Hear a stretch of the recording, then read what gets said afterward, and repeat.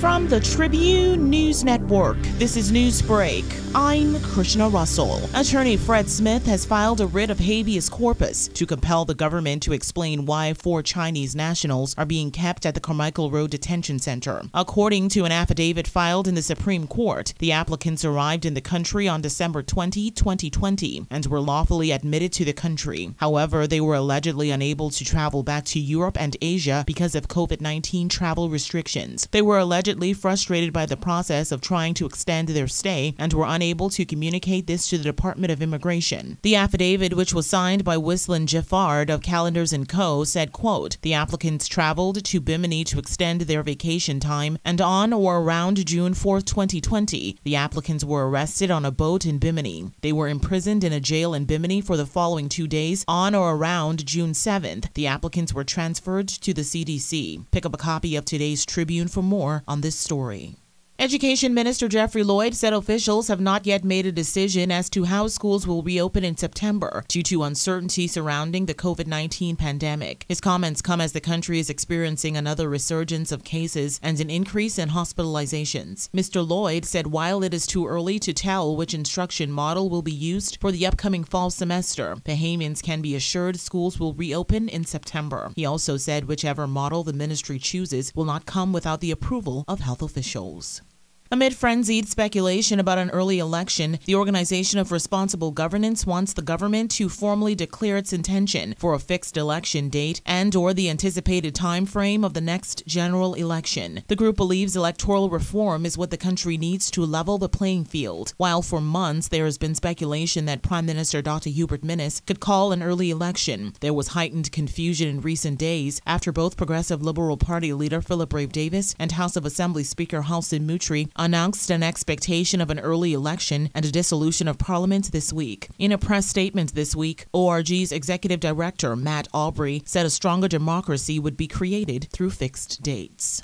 The Bahamas will likely receive hundreds of thousands of COVID 19 vaccine doses this quarter, it was revealed yesterday, amid concerns the nation is near bottom in the Caribbean in inoculation rates. Ed Fields, deputy director of the National COVID 19 Vaccine Consultative Committee, told a Bahamas Hotel and Tourism Association that although he cannot give any level of guarantee on the quantity or timing, it appears that the promised U.S. grant of doses will arrive in August. He spoke after Kerry Fountain, the Out Islands Promotion Board's executive director, revealed data showing the Bahamas ranks 31st out of 34 Caribbean countries when it comes to the rate at which its population is being vaccinated against COVID 19. Your complete news and information source this is the Tribune News Network. In international news, most Americans who haven't been vaccinated against COVID 19 say they are unlikely to get the shots and doubt that those shots would work against the aggressive Delta variant, despite evidence that they do, according to a new poll that underscores the challenges facing public health officials amid soaring infections in some states. Among American adults who have not yet received a vaccine, 35% say they probably will not, and 45% say they definitely will not, according to a poll from the Associated Press. Just 3% say they definitely will get the shots, though another 16% say they probably will. What's more, 64% of unvaccinated Americans have little to no confidence the shots are effective against variants, including the Delta variant that officials say is responsible for 83% of new cases in the U.S., despite evidence that they offer strong protection.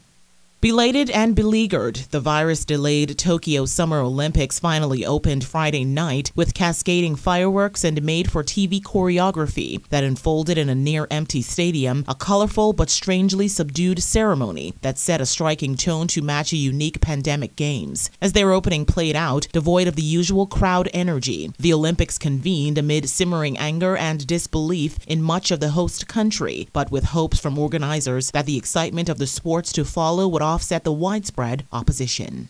The Tribune's AccuWeather update a service of Bahamas Power and Light Company. A persistent high pressure ridge is generating gentle to fresh winds, along with pleasant weather conditions across the Bahama Islands. The public is advised to remain hydrated and limit direct sun exposure during daytime high temperatures. Residents in the southeast Bahamas are to be alert for possible rip currents along east and southeasterly beaches. Mariners in the northwest Bahamas should be vigilant for possible waterspout activity during showers and thunderstorms. In the northwest Bahamas, it'll be partly cloudy, hot, and humid, with scattered showers and isolated thunderstorms, heavy at times in the extreme northwest islands through tomorrow. Expect gusty winds and higher seas in or near heavy showers and thunderstorms. Winds southeast to south at 10 to 15 knots, falling light and variable at times, increasing 15 to 20 knots in the extreme northwestern islands tomorrow. Seas 2 to 4 feet, building 4 to 6 feet in the extreme northwest Bahamas tomorrow. In the central and southeast Bahamas, it'll be partly to mostly sunny, hot, and breezy, with quick passing showers and hazy skies in the southeastern islands. They are hot and breezy with a passing shower tonight. Small craft caution continues in the southeast Bahamas. Winds east to southeast at 10 to 15 knots in the central Bahamas and easterly at 15 to 20 knots in the southeast Bahamas. Seas 2 to 4 feet in the central islands, building 4 to 6 feet in the southeast Bahamas. We'll have a daytime high temperature of 92 degrees with a heat index of 104 and an overnight low temperature of 77. The sun will set this afternoon at 7:57 and will rise tomorrow morning at 6:34. That's Newsbreak. Details of the day's top stories in the Tribune newspaper now on the streets or stay up to date online at tribune242.com.